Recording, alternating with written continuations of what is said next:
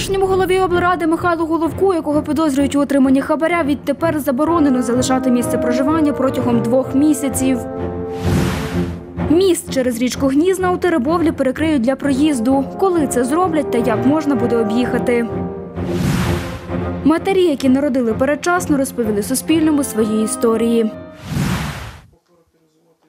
Екс-голові Тернопільської обласної ради та підозрюваному в отриманні хабаря Михайлу Головку змінили запобіжний захід. До нього застосували цілодобовий домашній арешт. Підозрюваному заборонено залишати місце проживання протягом двох місяців. Таке рішення прийняли сьогодні у Вищому антикорупційному суді. Клопотання про зміну запобіжного заходу подав прокурор спеціалізованої антикорупційної прокуратури Віталій Кравець. Слідчий суддя Вищого антикорупційного суду задовольнив його клопотання та ухвалив рішення перерахувати державі заставу в розмірі 805 тисяч 200 гривень, внесену раніше за Михайла Головка. Нагадаю, 26 червня повідомили про підозру колишньому голові обласної ради та двом заступникам голови обласної військової адміністрації. Про це Суспільному повідомив прокурор антикорупційної прокуратури Артем Стельмах. Він розповів, що посадовці вимагали понад 2 мільйони гривень у підприємця. На офіційному сайті НАБУ йдеться, що санкція статті, яку інкримінують підозрюваним, передбачає ув'язнення до 8 років з позбавленням права обіймати певні посади до трьох років з конфіскацією майна. Як працює Тернопільська обласна рада без колишнього очільника Михайла Головка, розповів виконувач обов'язків голови облради Володимир Болєщук. В першу чергу це напевно, що питання до депутатів, тому що обласна рада це депутатський корпус, от і від них залежить, як в принципі працює обласна рада. Сьогодні е, депутати мені допомагають, і ми разом з ними десь е, працюємо над тим, щоб десь повернути хоч частинку цієї довіри, яку люди дали тим депутатам до обласної ради після цих всіх процесів. На запитання, хто претендує на посаду голови обласної ради та чи обговорювали можливих кандидатів, Володимир Болєщук відповів. Кожен депутат Тернопільської обласної ради може бути обраний головою обласної ради. Нагадаю, Михайла Головка звільнили з посади голови облради на сесії 26 жовтня. На це засідання він не прийшов. Ми запитали у Володимира Болєщука, як відреагували в обласній раді на судовий позов Михайла Головка щодо рішення сесії облради про його звільнення. В обласній раді поки що немає ніяких офіційних документів про те, що є, е, що він подав в суд. Ми це дізналися тільки з преси, з його коментарів.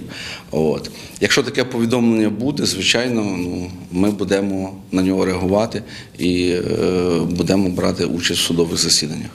Зараз готуються до наступної сесії облради, яку планують провести наприкінці листопада, розповів Володимир Болєщук. Два дні тому провели погоджувальну раду голів фракцій. Ми узгодили президію, порядок денний на президію. Президія у нас відбудеться або вівторок, або в середу. От, ми обз- робимо обзвон депутатів, щоб вони були готові, щоб був кворум. Готуються рішення. Уже у мене є більше 90 питань, майже до 100 питань доходить. От, ми домовилися на погоджувальній раді, що усі сесії, які в нас будуть, це будуть господарські сесії. Любов Гадомська, Андрій Міц, Суспільне новини, Тернопіль. З 20 листопада на місяць перекриють рух для транспорту мостом через річку Гнізна у Теребовлі. Про це розповів голова Теребовлянської громади Олег Продан. За його словами, аварійний міст ремонтують вперше за 90 років. За даними служби відновлення та розвитку інфраструктури у Тернопільській області, щодня цим мостом проїжджає приблизно 15 тисяч автомобілів. Споруду та підходи до неї буде повністю закрито. Це 500 метрів вулиці князя Василька від заїзду на вулицю Тернопільську до перехрестя з дорогою державного значення Галич Підгайці Сатанів. Водії та пішоходи, яких ми зустріли поблизу моста, про його ремонт кажуть. Ну, вважаю так, ремонтувати моста потрібно, звичайно. Але потрібно, я вважаю, е, зробити якийсь, напевно, е, або понтонний якусь переправу, або тимчасовий міст, щоб, щоб могли люди проїжджати. Бо Тому що ці великі об'їзди це, ну, по-перше, незручно. Я часто їжджу, він в аварійному стані.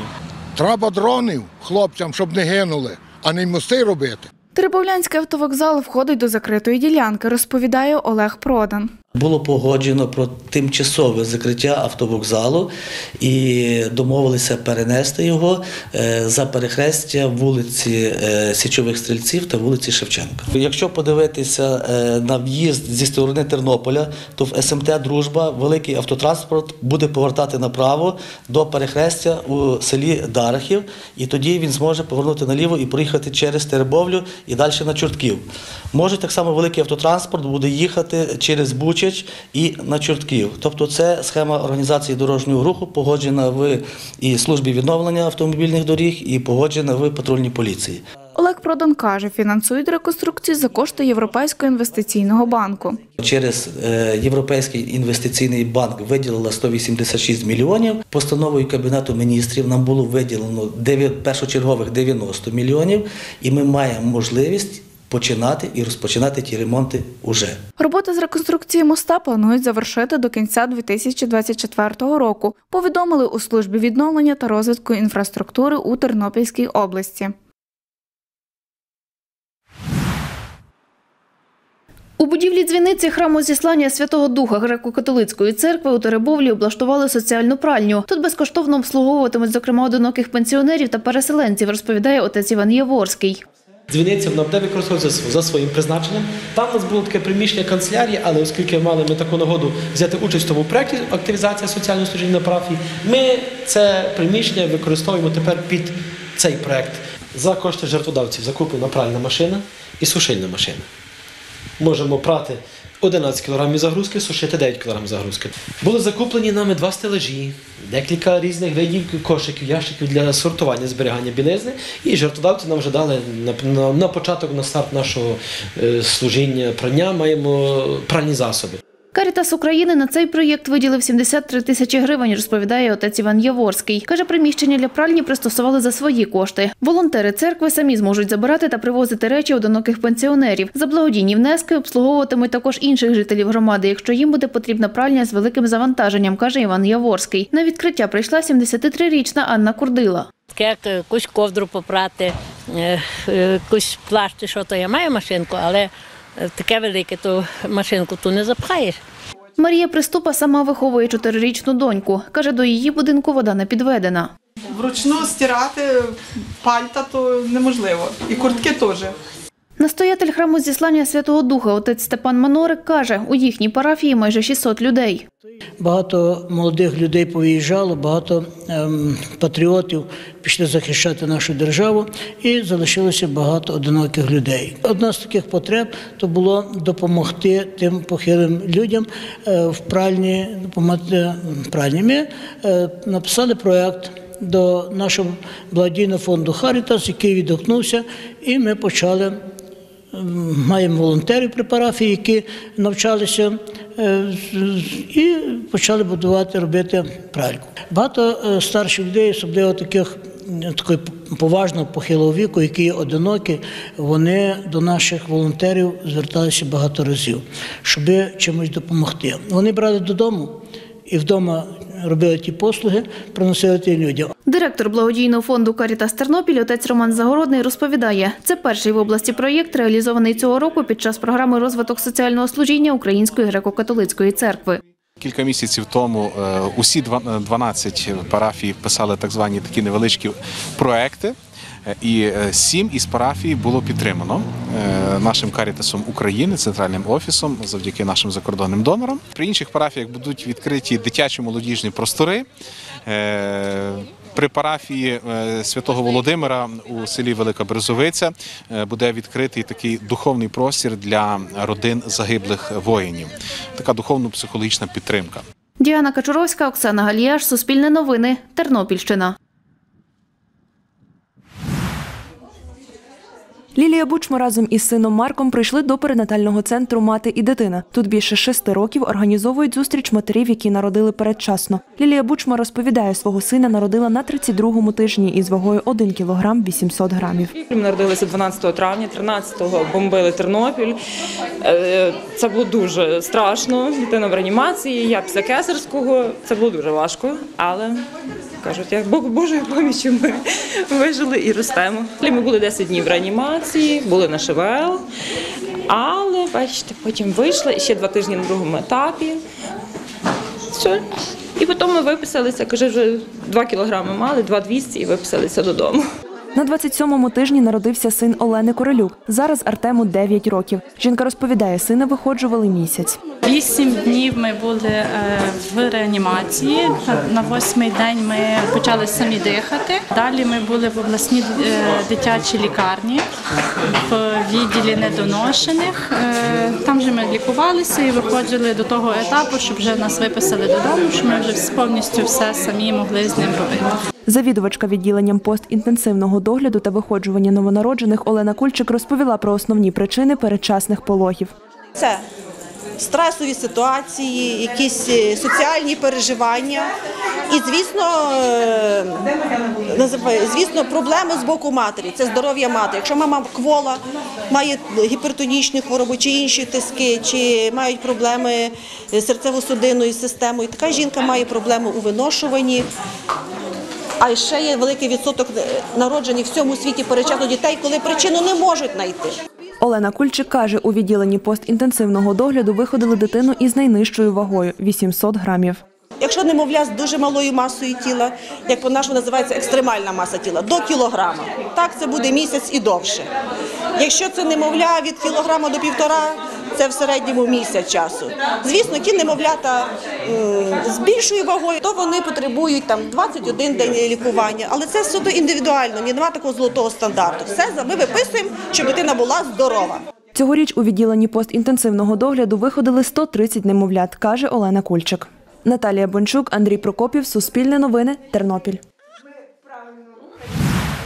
Більше ста спортсменів зі всієї України приїхали до Тернополя на 24-й турнір з вільної боротьби Тернове поле. Цими змаганнями вшановують пам'ять заслуженого тренера України Віталія Назарчука, а також тернопільського спецпризначенця, який загинув у Бахмуті Віктора Мельниченка. Змагаються спортсмени у 10 вагових категоріях. Зараз відбувається сутичка у ваговій категорії до 74 кілограмів. Борються Володимир Мусієнко з міста Суми, він у червоному трико, та Костянтин Морозов з Хмельниччини. Володимир у цьому поєдинку переміг з рахунком 10-0.